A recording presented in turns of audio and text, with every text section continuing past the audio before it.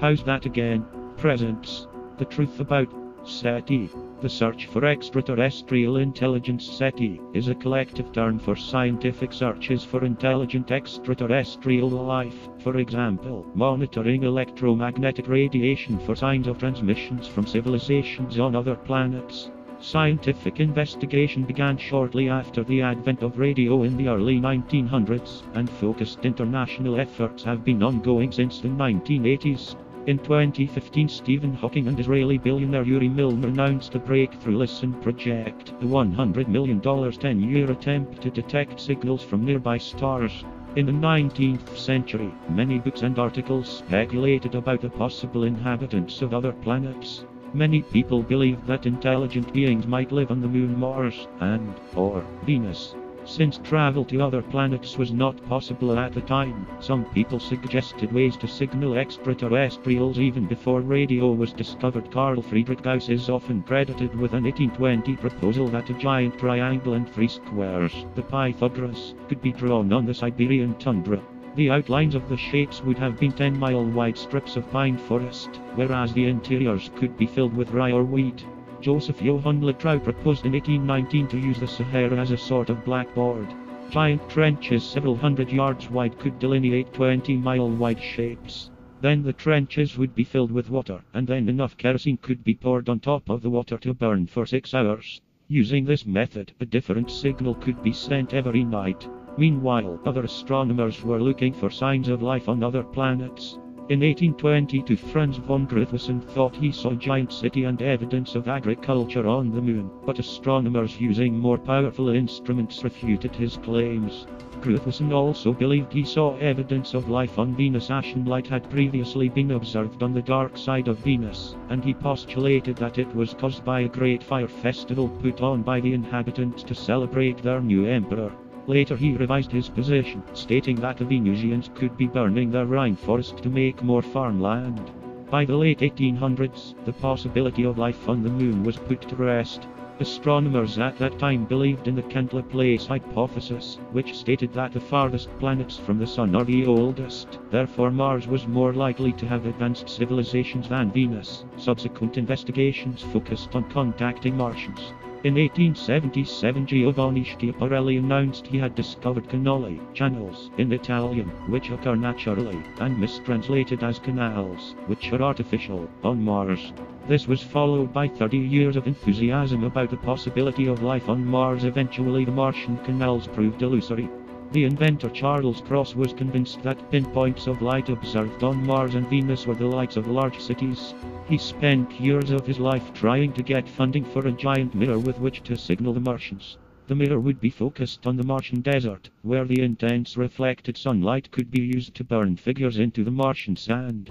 Inventor Nikola Tesla mentioned many times during his career that he thought his inventions such as his Tesla coil, used in the role of a resonant receiver, could be used to communicate with other planets, and that he even had observed repetitive signals of what he believed were extraterrestrial radio communications coming from Venus or Mars in 1899. These signals turned out to be terrestrial radiation, however. Around 1900, the Guzman Prize was created. The first person to establish interplanetary communication would be awarded 100,000 francs, under one stipulation.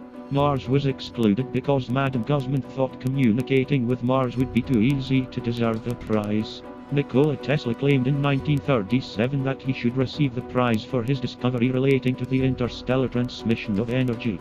There have been many earlier searches for extraterrestrial intelligence within the solar system.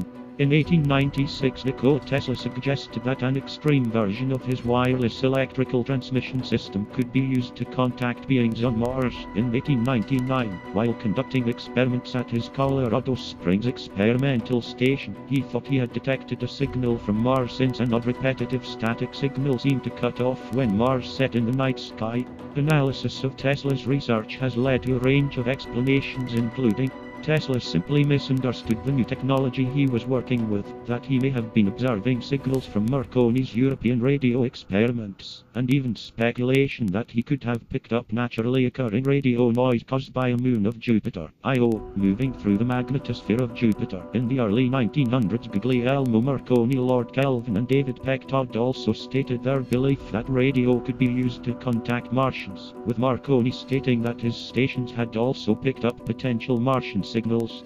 On August 21st to 23rd, 1924, Mars entered an opposition closer to Earth than at any time in the century before or the next 80 years. In the United States, the National Radio Silence Day was promoted during a 36-hour period from August 21st to 23rd, with all radios quiet for 5 minutes on the hour every hour.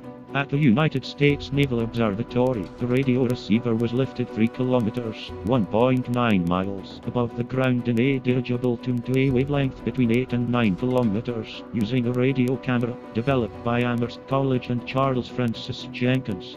The program was led by David Peck Todd with the military assistance of Admiral Edward W. Eberle, Chief of Naval Operations, with William F. Friedman, Chief Cryptographer of the United States Army, assigned to translate any potential Martian messages. A 1959 paper by Philip Morrison and Giuseppe Cocconi first pointed out the possibility of searching the microwave spectrum. It proposed frequencies and a set of initial targets. In 1960 Cornell University astronomer Frank Drake performed the first modern SETI experiment, named Project Ozma, after the Queen of Oz in L. Frank Baum's fantasy books. Drake used a radio telescope 26 meters, 85 feet, in diameter at Green Bank, West Virginia, to examine the stars Ceti and Epsilon Eridani near the 1.420 GHz marker frequency, the region of the radio spectrum dubbed the water hole, due to its proximity to the hydrogen and hydroxyl radical spectral lines. A 400 kHz band around the marker frequency was scanned using a single channel receiver with a bandwidth of 100 Hz. He found nothing of interest.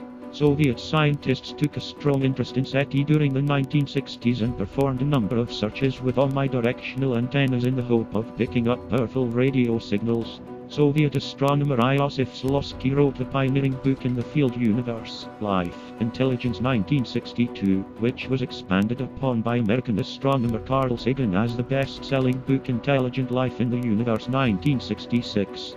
In the March 1955 issue of Scientific American John D. Kraus described an idea to scan the cosmos for natural radio signals using a flat-plane radio telescope equipped with a parabolic reflector. Within two years, his concept was approved for construction by Ohio State University, with a total of US $71,000, equivalent to $685,015 in 2021, in grants from the National Science Foundation. Construction began on an 8-hectare, 20-acre plot in Delaware, Ohio.